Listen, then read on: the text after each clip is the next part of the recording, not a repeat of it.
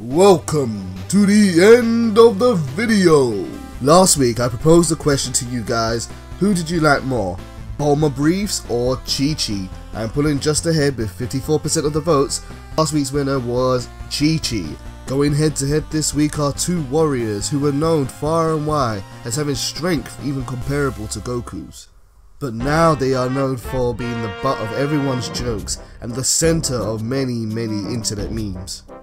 Which of these losers do you love the most? Krillin, Goku's childhood best friend and student of Master Roshi, and Yamcha, Puar's best friend and master of the Wolf Fang Fist. Who do you vote for? Click on a picture right now and next week I will tally up all the votes and present them in a new video.